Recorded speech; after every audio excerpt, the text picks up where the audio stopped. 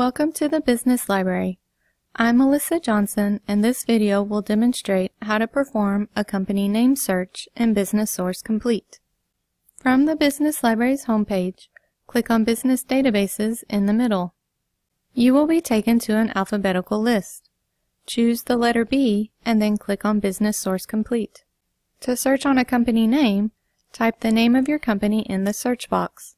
From the drop-down list, notice the many business-focused ways you can search in this database, such as ticker symbols, people, products, and geography. Choose CO Company Entity from the list. Company Entity is another way to say company name. The results page will show you articles that are all focused on your company.